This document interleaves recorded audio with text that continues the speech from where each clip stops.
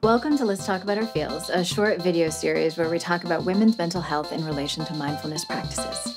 This is the third video in our series about mindfulness in connection to the series Ghost BFF, which you can watch by clicking here.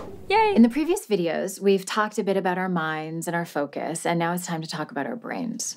Let's get technical for a sec, okay? Okay. Neuroscience has shown that 90% of brain activity occurs beneath conscious awareness, which means even when we think we have control of our feelings and thoughts, it's not really the case.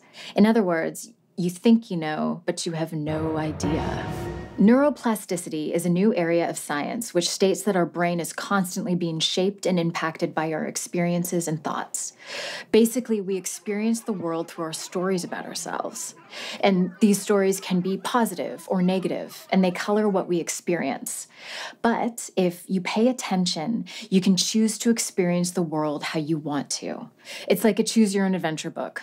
So try choosing positive stories so you end up feeling good. If we practice being calm, clear, and positive, these networks will become strengthened and our mood, responsiveness, and perspective will become the same. It's pretty cool.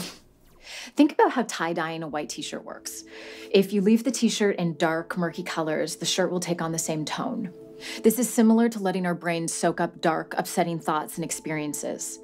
The longer it sits in the dye, the more permanent it becomes. But if the t shirt soaks up different colors and shades, it emerges colorful, patterned, and totally unique. You know, the same goes for experiencing positive thoughts and feelings with our minds. So, by immersing ourselves in the positive and in the present, we become closer to the world.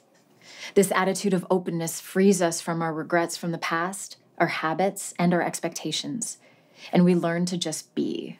Now, getting back to the science, mindfulness practices have been proven effective in the treatment of hypertension, heart disease, chronic pain, and even PMS. It can help improve memory along with assisting with how we deal with stressful challenges and environments. All of this has been mapped as increased activity in the left prefrontal cortex of the brain. So, the more mindfulness you practice, the busier your brain gets in, in a really good way. The next video, we talk about automaticity or what happens when our minds go on autopilot. And if you like this series, please tweet at us or direct message us. We would love to hear from you. And once again, we're always here to talk. So send us a message.